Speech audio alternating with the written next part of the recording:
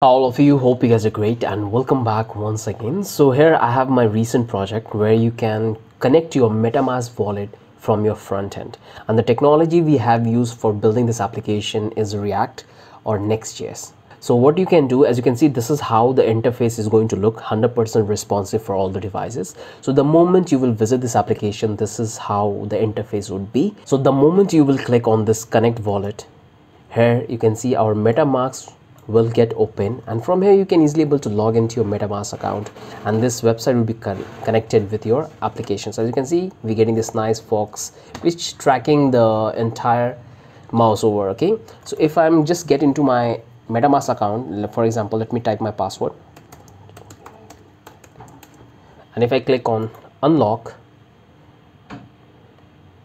just wait. And here is this boom.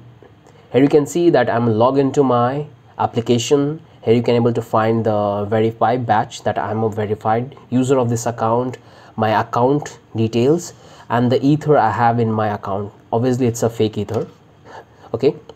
And if i come here into my metamask let's let's let's open this one. And here i have 1.1 ether. It's obviously a fake ether because i'm connecting with a Kovan test network and from here you can easily able to switch from your account. So as you can see the moment i will switch i will have a the this account will get changed. So if i click on this account number third you can see it's get updated in real time because of the use state we have used okay? If i change the account would be changed so everything is 100% functional let me tell you about the responsiveness. So this is how it's going to look on a mobile device. And if I come here and if I open my metamask and if I log it out here because currently metamask currently there is no option which you can use it to log out from your front end if you want to disconnect your metamask and log into application log out from your application you can do it from here. So if I come here and if I click on this log out as you can see i'm also will get log out from this application okay? So to use this application i have to log in into my metamask. Then i can able to use this application. So again if i type my password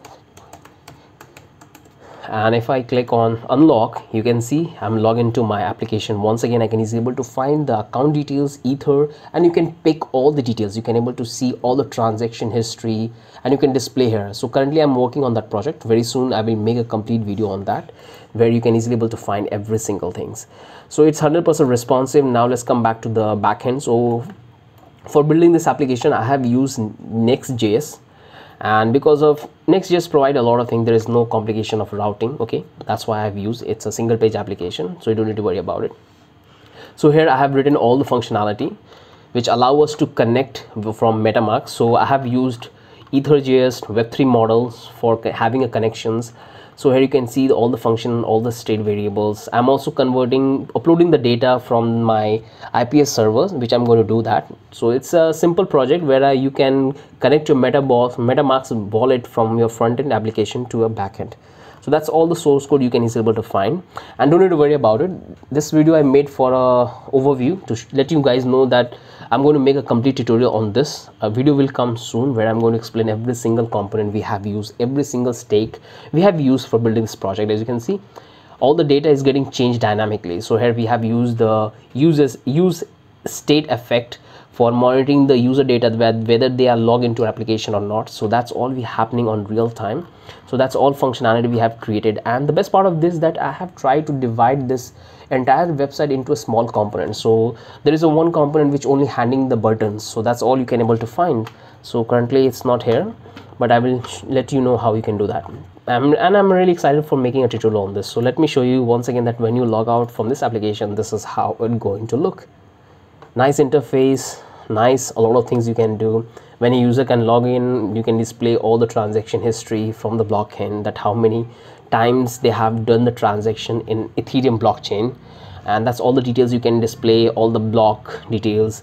You can do the transaction the, that whom he transfer the money that's all you can able to mine and display from here. And we're going to do that from here. So we're going to ether. So i hope you guys have already known to this website etherscan.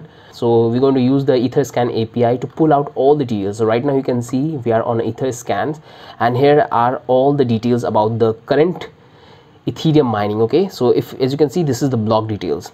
So if i click on this block here you can able to find all the transactions which is happening inside this block. So here is the timestamp that when this block was created here you can able to find the transaction that how many transaction is happening. This block is created very recently that's why there is no transaction in that. Mine who mined that transaction who mined this in, in this block? So you can easily able to find the address of the miner that and how many reward he got when he mined this block. So he got two ether that's a lot of money. The the uncle reward there's no difficulty total size gas fees limited and that tons of information you can get. And we're going to fetch all this data. All this data we're going to display in our application. That's all you can do here. And what i'm talking about let's come here. Let's go to the previous block. Let's go to the previous block and let me show you.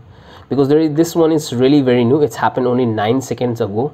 So that's why there is no transaction in this. So here you can see that it has 196 transactions. So if if i open this so let's open this block and inside the blocks we have these two transactions. One transaction is happening on the contract level where the users are buying and doing stuff like that. And the second transaction is happening on the base of the transferring money. So if i click here here you can able to find all the transaction which happen inside the block. This this 005 block contain all these transactions all these transactions. So we're going to fetch this transaction details as well into our applications.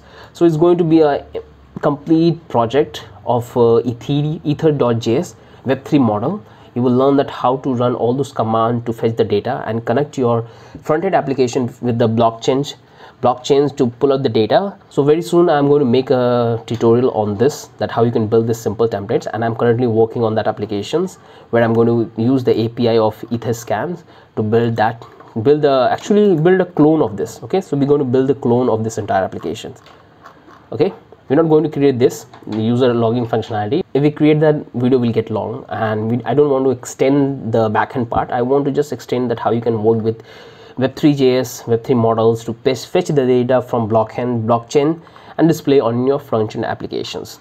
So that's what we're going to do. But maybe within a two days, you will get a complete tutorial on this application that how you can connect your MetaMask wallet with your front-end applications. And then we'll have that entire functionality so i hope you have found this video valuable. If you have any questions any doubt leave that in the comment section. I would love to help you in that. And for the time being bye bye and i have a good baby here right behind me. He wanted to know that what i'm doing.